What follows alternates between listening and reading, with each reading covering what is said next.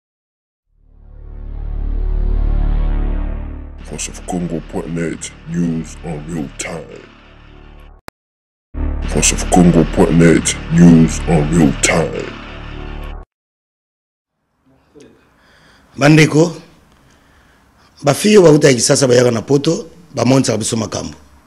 fille moko autaki kisasa aye na poto awa makambo nyonso kaka ye ayebi c'est la fille qui connaît tout boloba boye hey, eh, nayebi yango boloba boye hey, eh, nayebi yango nga nazoleka na nga benga misesatu nga bewi nini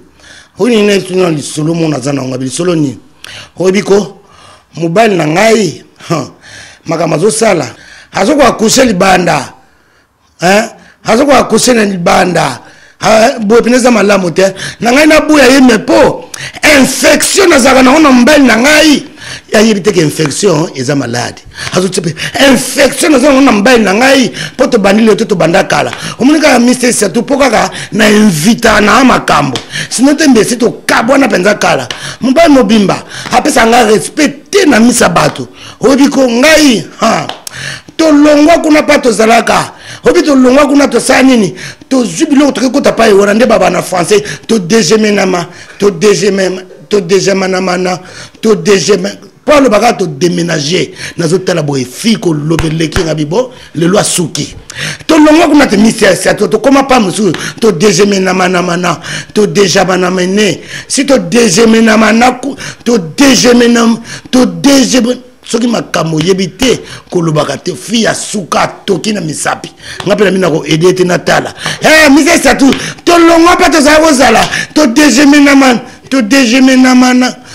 To déjà manimini, si to déjà maintenant, eh, si to déjà français, to déjà maintenant mane, elongo wana, apusani bwa moni mundele mwa telemi na ye. Atuni, eh, Monsieur, ango tuna ke soki bisi 170 etele makao yoka français. Mais excusez-moi, c'est ici que c'est les bisi 170 se mettent debout. Eh, donc na mundela tali perabi oui. ba congolaise bozo buka français ya kobuka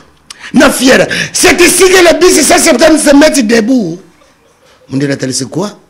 abi eh azokanga te naleka na ngai aleki asisi ah, te apusani so mpa mosusu wana ye kaka koloba na misa bato eh, makambo azoloba nango ti mosusu yo eh, nga mpe si namona yango ese eyela ngai nini yango eyela yo kasi bademagemeje